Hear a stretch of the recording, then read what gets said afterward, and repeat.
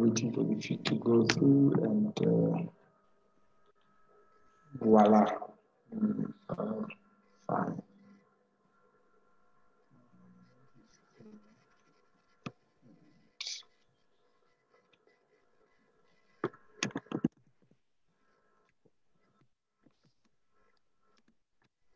How are you doing, brother? I'm good, and yourself? Uh, wonderful. How's uh, how's the weather in Kenya? It's very cold. um, yeah, we are also getting some rain in Johannesburg. Yeah, well, it's, well, it's not raining. It's just a bit. It's just cold. Oh, it's a bit cold. All right. Hopefully, it gets uh, gets better. Better. um, you are live on uh, our Africa for Palestine uh, webinar series. Welcome once more. You. Suhail, is Suhail, I'm pronouncing it right, right? Yeah, yeah. You're one of the first few people to say it correctly on the first track. Oh, oh, oh look at that. right. Um, Suhail, welcome to the uh, Africa for Palestine webinar series. Um, welcome to our audience. Uh, welcome to our viewers as well who've been following this webinar series since it started in mid-July, if I'm not mistaken. Um, once more, uh, we uh, like to introduce ourselves on this webinar series. Um, we are Africa for Palestine, a Palestine human rights organization based in South Africa. We do our work in the African continent to raise Palestine awareness and to push back Israeli influence in the continent. We work with different organizations, um, church organizations, we work with um, your mosque movement, we work with them, the broader civil society movement, um, your political parties, trade union movements, um, and the broader civil society movement generally. We work with them, those that identify with our cause, for Palestine solidarity. We are also guided by the historical context of Africa's solidarity with Palestine um, from the early Pan-Africanist movement um, in the early 60s um, to the recent uh, solidarity with Palestine throughout the African continent. We have had this webinar series, like I said, started in mid-July 2020. We host different people on this webinar series, academics, uh, activists, student activists, trade union activists, uh, leaders of political parties, um, different people from different walks of life in the African continent. We host them on this webinar series to speak about a large area of things, uh, including Palestine solidarity among many of them as well. Um, today, we, uh, we are honored to have uh, one of the co-founders of uh, an organization called Kenyans for Palestine out in Kenya. Um, their work is in and around um, Kenya's solidarity with Palestine. Uh, Suhail is with us. Uh, once more, welcome Suhail. Thank you. Um, let, us get right into it. So just so tell us about uh, about yourself. Tell us about the work that uh, Kenyans for Palestine uh, primarily does. Um, thank you so much, Ali. Um, so Kenyans for Palestine is a grassroots network of young people who came together um, to see what they can do about the uh, atrocities and violence that's happening in Palestine um, by the Israeli state. Um, so our main ideologies are we want to create an international and intersectional um, uh, move towards solidarity. So in Kenya, there's been a lot of movement building, especially on the ties between Kenya and Palestine. We've had organizing, we've had movements such as the Kenya and Kenya and Palestine Solidarity Movement. And at the moment, there's a lot of diversification of this movement. So more and more people are interested um, with what's happening in Parliament. More people are, sorry, not in Parliament, in Palestine.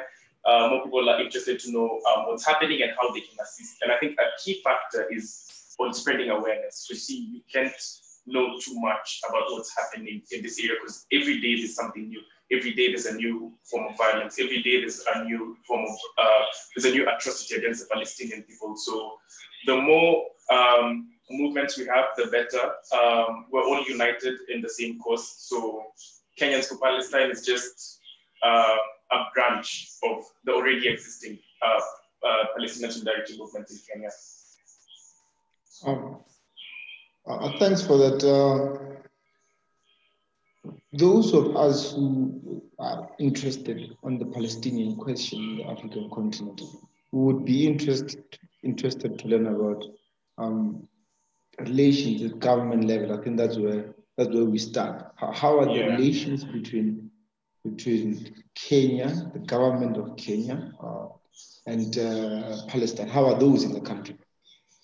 I think to understand government relations, you have to look at Israel and the tactics and uh, weaponization of diplomacy they are using.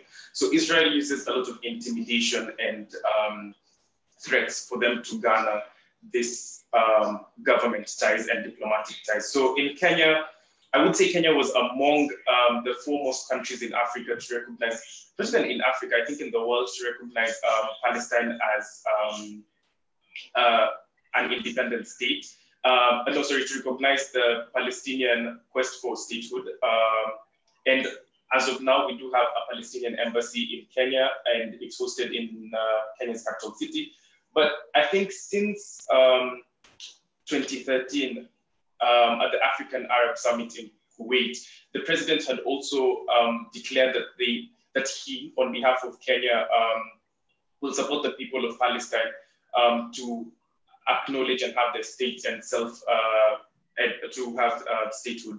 But I think the first indication of the national uh, policy shift, especially on Kenyan Palestinian ties, would be on uh, in late 2017 during the, the United Nations General Assembly um, emergency sitting on the um, long-standing international consensus of the State of Jerusalem, where Kenya did not vote and abstained from voting um, on this matter. So I think since then, we've seen a lot of policy shifts and more and more ties with Israel um, coming from a governmental level. But so far, um, we've seen the government um, supporting grassroots movement, supporting the Palestine, acknowledging um, what's happening in Palestine and calling out Israel in some of the some of the atrocities they do um, commit. So I would say there's no blanket term to term it as full solidarity or no solidarity at all. I think it shifts based on uh, the interests of Kenya and more or less um, the government's interests. Uh, uh, so uh, we, we must be honest also about the wave of Israeli influence in the continent. Um, not so long ago, they were forcing themselves to get observe, observer status in the African Union. Um, yeah. They attempted an Israeli Africa summit, if you remember, three years back in Togo that couldn't go through. Um, they're trying to get inroads into Uganda. They've gotten inroads recently into Morocco. Um, so there's that particular wave throughout the African continent um, of Israeli kind of infiltration? Do you do you think there's a political will um, on the part of the Kenyan government at this particular point in time um, to let's say not place solidarity, but to kind of resist that particular um, infiltration? Yeah, I think we can look we can look at the infiltration of Israeli um, uh, Israeli infiltration in Africa as the new scramble of um, Africa because there's a lot of interest by the Israeli in Africa, and we've seen with the recent um, normalization ties uh, in uh, Morocco, in Sudan. So they are targeting certain countries.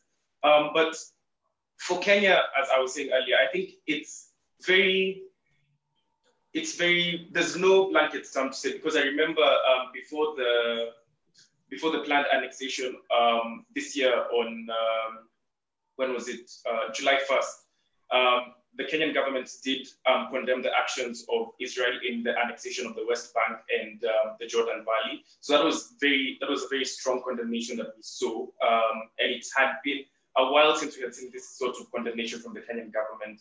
But I think back to your question, there is some sort of political will, but not very visible as of now because even when the government does these things, it's not on the front of the government of Kenya. It's particular progressive members of parliament or uh, progressive legislators who bring this who bring these issues up. Um, so, as we know, there's a lot happening, especially in Kenya's uh, Kenya's governance and political realm. So it's very difficult to acknowledge this, especially for them at this point, because even if we look at Kenya, um, they are they are taking a lot of tactics from the Israeli um, government. How they are oppressing the citizens here in Kenya is the same way the, Israel, the Israeli government is doing it. So to some extent, we look at this um, solidarity as flexible diplomacy, like you're calling this out, but you're doing it at home. So we aren't quite sure where the government does stand as of now. Uh, we've seen the recent condemnations, the most recent being in June of this year, but we haven't seen any action coming with these condemnations. Uh, um, yeah, interesting. You should, uh, you should, that you raise the concern about uh, the treatment of of the citizens of the Kenyan government. Uh, we, we, are, we are well aware of uh, Kenyatta's not so nice human rights record. Yeah. Um, and uh, what we realized also is that Israel wants to target this type of leaders in the African continent, Museveni in Uganda, um, the dictator in Togo, um, the illegitimate government now in Sudan. Um, so this is the type of friends Israel likes to keep. Um, yeah. And uh, even with the Arab normalization, those are undemocratic, backward, and repressive regimes in those in those countries. So that is the company that uh, that Israel keeps. Um, and we've seen, um, I think, two years back when Kenyatta spoke about some type of a wall um, between Kenya and Somalia. And Somalia, and yeah. Netanyahu was, look, um, if you want the wall, I can give you some advice.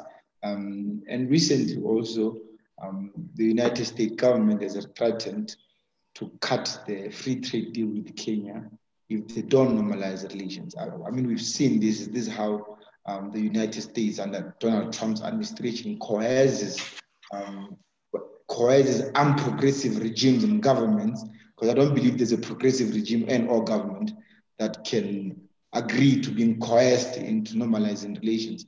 So there's been those, we've seen those in newspaper reports. We, we had that the corridors of, of diplomacy that um, Trump's threatening to cut the free trade deal. Do you, do you see this as something happening in Kenya?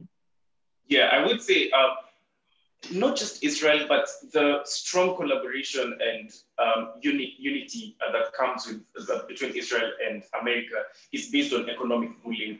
This is a new form. It's not a new form of diplomacy we're saying, but it's not diplomacy as per se. It's a sort of domination. These two countries are coming together to dominate over uh, other countries in the world for their own self-interest. Um, so the, the reason of this form of normalization, especially with countries in Africa, is to legitimize um, the violence that's happening in Palestine by the Israeli embassy, uh, sorry, the Israeli um, government. Because when we look at it, is once in the international arena you do have diplomatic ties with any country, it seems there are more that will come on board. But to start this normalization ties, you have to start from somewhere. And a country like Kenya is very weak when it comes to economic dealings it's uh, severely in debt. It's uh, severely in debt. It's, it has a lot of, it uh, relies and depends on a lot of aid from America and Israel. So when President Trump um, comes and says that if you do not sign this agreement, we are going to cut off um, this aid coming in. So it comes back. Even I, um, I think with the recent free trade um, deal, there was the there was the um, agreement that the Kenyan government is going to also crack down on any politically motivated um, BDS movements in Kenya that, that seek to um, disrupt any Israeli dealings in Kenya. So if, if, you look at such agreements, the main role is not di diplomacy and economics anymore. It's more or less about bullying. It's more or less about domination. It's more or less do this or we, we, we pull out. Oh. Uh, also, this is um, this normalization type of agreement is to legitimize um, internationally uh, the illegitimate state and apartheid state of Israel. Um, as well, I think we've, we've spoken enough about, about the government, and I think even our audience uh, well understand uh, Kenyatta's type of leadership in Kenya and the way we've seen um, with their human rights record. Um, let, us now focus on society, on Kenyans themselves, on activists like yourself and those you organize with. um, how's been the approach to to Palestine solidarity? Uh, we, have seen that. I'm aware that Kenya and Palestine was also not so from not so long ago. The organization that you co-founded also was not so long ago. Um, how, how's the approach to Palestine solidarity? Is it something that's very recent, or is is just that there are organizations that are formalizing it like the one of yours? I think in Kenya there's been strong, there's been a strong sense of understanding transnational solidarity. So Kenyans are aware of what's happening in Palestine. They have been doing a lot of work um, virtually, and those who are in the civil society space have been trying to make um, legislate, uh, legislation to back their claims. But I think until recently is when we started having these formal organizations coming up. Initially, people would do uh, a lot of this organizing more, more or less underground. Um, and even now, as we look at it, we see it's not just civil society and mainstream NGOs who are standing in solidarity with Palestine. We see um, organizations um, and social justice initiatives from the urban informal settlements in Kenya. Um, like recently, there's uh, a social justice center called Wahenga Youth Group in one in uh, in one of the in one of the largest slums in all the slums in Kenya who put up a, who put up a painting um, on an empty wall on the uh, standing in solidarity with Palestine. So such such groupings are also important because it shows us that once you're in solidarity with Palestine, you understand the specifics of our oppressions. Are inter- our oppression is intersectional with theirs. So in Kenya, we have different groups. Um, the civil society, we have um, religious um, groups who've been very active in uh, both the parliamentary status, uh, the parliamentary level, level to organize and bring up the issue and question on Palestine and Kenya's legitimate standing on what is the what is the um, what is Kenya's standing on the issue. So we've seen a lot of education and awareness, and just as Kenyans for Palestine has joined in, we've had organizations like um, the Kenya Palestine Solidarity Movement that has been doing a lot of education education, a lot of uh, spreading a lot of awareness on what's happening.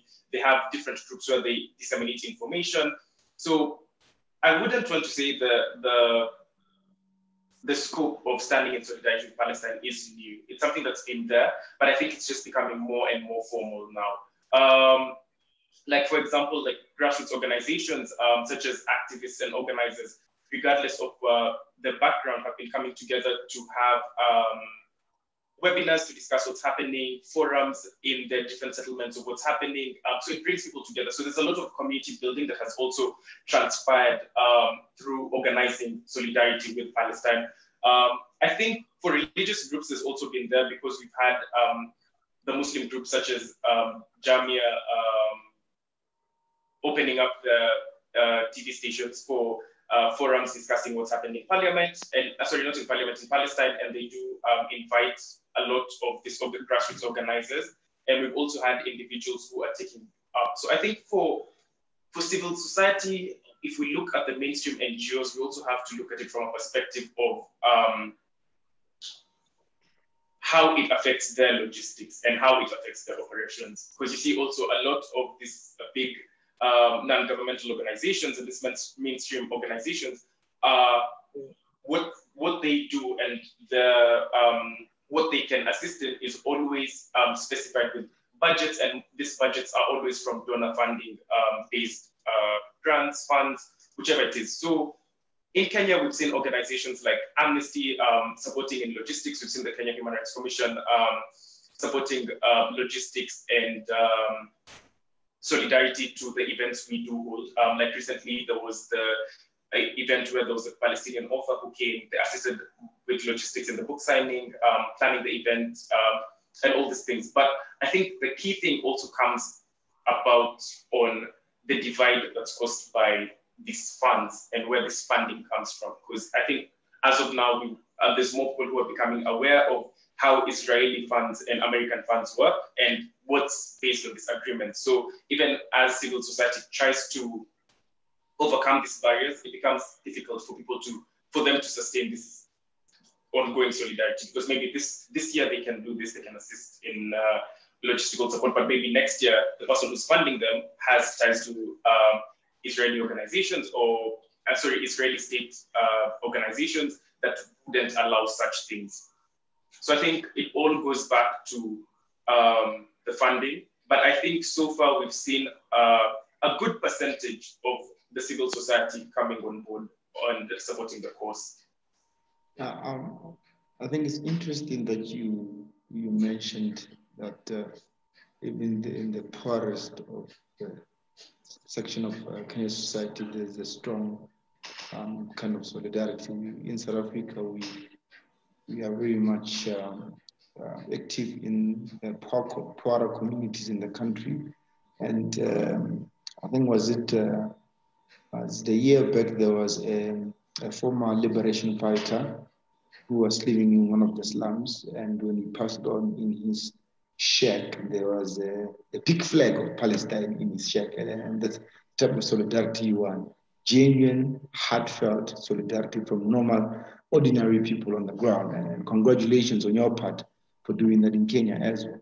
Um, so we, we, we've seen a really interesting trend um, coming up in the last couple of years where young people in the main are in the forefront of the Palestine struggle globally.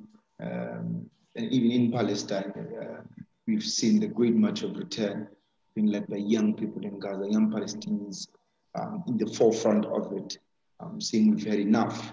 Um, we have now the occupation, we have now the blockade. In the West Bank as well, we've seen a, um, uh, uh, a surge of young people um, um, resisting the occupation either through violence, through non-violence, but now a lot of young people are doing the in in the United States, the Black Lives Matter movement, primarily and in the main is young people uh, at the forefront of social justice issues in the United States. Uh, and I can argue in many other parts of the world as well.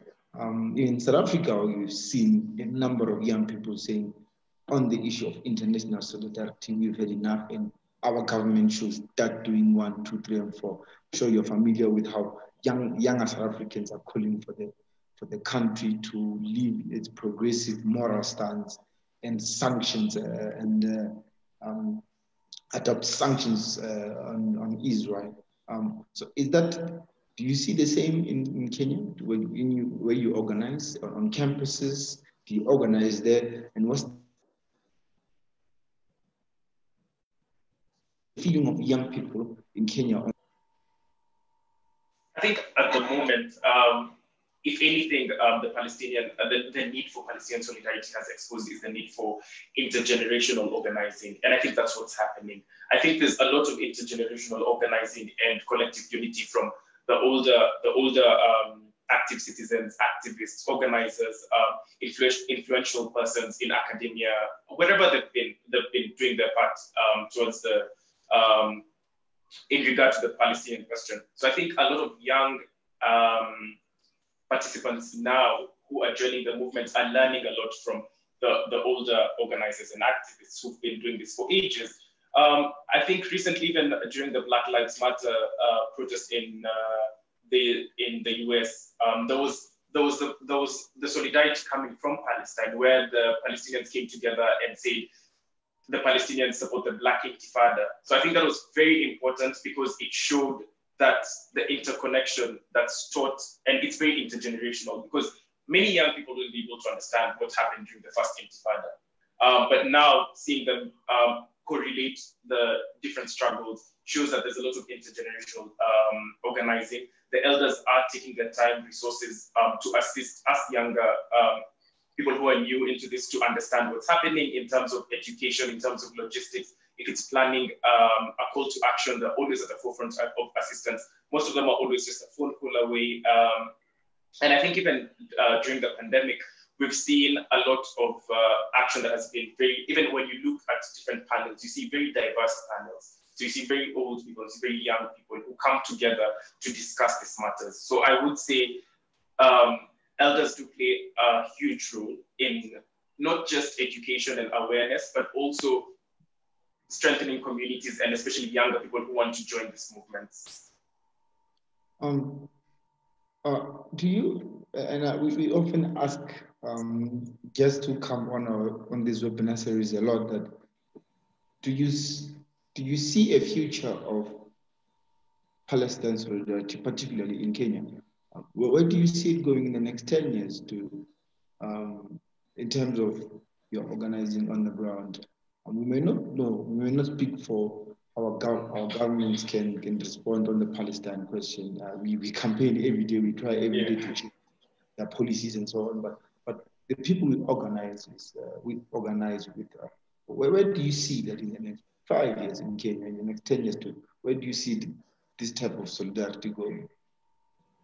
I think in 10 years time, or even, even less than 10 years time, we'll have achieved um, such um, momentous forms of organizing where there's more people coming along. Because I think I would say we are in the age of abolition. And if people do demand worldwide, globally, we've seen people calling for the abolition of police. We've seen people calling for the abolition of sanctions. We've seen people calling for the abolition of militaries all over the world. So I think if you look at this perspective and then you look at the Palestinian question, um, I think Angela Davis puts, puts it very well and see, and she says what's happening to Palestine by Israeli is the largest cause of is the largest form of a carceral society. So if we are fighting um, incarceration now, we are fighting violent policing. It means we have to stand in solidarity with Palestine. And I think even now we are moving away from liberal forms of activism. It's not about flexibility. It's not about um, compromising with the demand for freedom. It's not about compromising when we're asking for our rights. It's reached a point we're not begging anymore. It's we are demanding and we will achieve this. So I think Africans, especially in Kenya, are also taking a broad um, Pan-Africanist um, Pan-Africanist form of organizing because we've seen a lot of organizing that's between Tanzania and Kenya, like regardless of borders and territories now, we've seen that we have to come together as Africans and stand in solidarity and um, amplify the demands and make sure whether in 10 years, whether not in 10 years, we have a very strong um, united front. So once we make our demands to our governments, they will have no choice but to listen to us. Because you see, I think a lot of governments um, use diplomacy as a form of um, flexibility when it comes to policy making. But if you look at it very intrinsically, it's it's a lot of hypocrisy. They might say this, but on the on the side of um, policy making and listening to the citizens, it's a lot of hypocrisy. So I think once we have this unified front, which is growing rapidly every day, I would say we can look at South Africa, which has led um, the BDS movement for a very long time. We can look at Malawi, we can look at Tanzania, we can look at um, Nigeria, and many others that I, I might not be able to mention. It's, it's a growing um, Pan-Africanist front. So that's very important because rather than looking at just Kenya and looking at just South Africa, we look at it continentally because we many Africans do understand um, the brand like the brunt of colonialism, apartheid, um, segregation. Um, so they do understand what's happening in Palestine and they have the desire to join in the struggle and ensure that everyone is free. thanks for thanks for that, Suhail. I think uh, also for our audience that are watching, um, we also believe that in 10 years' time there will be um, much more intensified campaigns. Um, but you're right, Suhail, there's a, there's a growing Pan-Africanist um, movement growing in the continent. Um, the, the, uprising, the, the Arab uprising just but um, it's a tip of the iceberg for. You have uh, students in Ghana taking down statues of people like Mahatma Gandhi for their racist, um, the racist behaviors back in the day. You have students in South Africa through the fees must fall, the Rhodes must fall. So you have a lot of decolonization type of um, discourse in the African continent. Um, you have um, um, students in Nigeria uh, protesting in the streets for Palestine. And this is the growing Pan-Africanist movement in the, in the continent. And we also believe in 10 years time, it will be enough. I, I think 10 years back from now, um, yeah. nobody will believe that no, young people will stand up and Africans themselves will be, um, will be carving their own way out of colonization. And I think uh, um, in 10 years time, I think me and you will be old and be more younger people. yeah. Younger people will be doing things differently and more creatively than us. Um, yeah, I would say also um, the young people are very radical. They aren't here to compromise. They are here to demand. And I think a key thing is also during the End SARS protests uh, in Nigeria, we all, we always mm. saw the coming up of the Palestinian question. It was like solidarity with Palestine. Someone have a placard with solidarity to Palestine. Even in um, with the end Anglophone crisis um, protest, we saw the same thing. In with the BLM protest, we saw the same thing. In Egypt, we've seen the same thing. And most recently in Sudan, we also saw the young people um,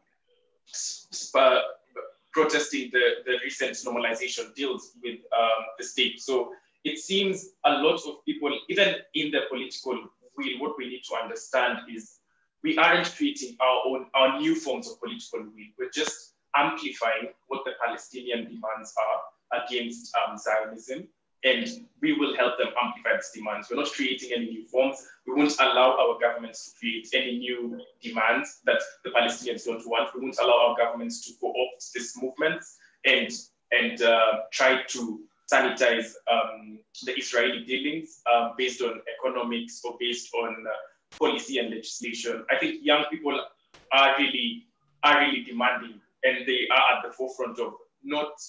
They, for them, anything for them, they'll do anything to make sure this happens. And there's also the now the the influences from young organizers in Palestine, like Ahed Tamimi. So when young people see these young children being attacked and being and fighting for their rights, it gives them this sort of motivation to join in. Like recently, we saw the young boy who was shot um, by police, and then it was justified by um, a stray bullet. So this continued um, declaration or acknowledgement of Palestinians dying um, at the uh, Palestinians dying at the expense of uh, Israeli bullets is also being justified as collateral. So most times they won't give us the names, they'll just give us a child. They'll give us this number of Palestinians have been ejected from their land. So they are trying to use to weaponize these statistics so that to try and sanitize and make sure that what Israel is doing seems very just in the in the international arena. No, you're absolutely correct. Um, the Palestinian, the Palestine solidarity struggle seems to be intersectional, intersectional everywhere in the African continent. Protests against police brutality, state violence, militarization. Um, you're definitely going to see a Palestinian flag in that protest. Yeah. Um, in, in South Africa, there's been protests also against sexual violence, and the feminist movement in South Africa, even in their struggle against um, uh, patriarchy and sexual violence, speak out in solidarity with Palestine, even in those spaces. So there is an undenying, growing, impatient, pan-Africanist colonial movement in, in, Africa, in the African continent that uh, grows from strength to strength with Palestine. Um, yeah, and I think also there's also the need for like looking at Kenya. There's a lot of militarism and a lot of surveillance that's being enabled by the Israeli government. So if when we look at these things, you see um, Kenya as a government will stand up and say, we want the sovereignty of the Palestinian state, but in the same time, they are meddling with um, Somalia's internal affairs.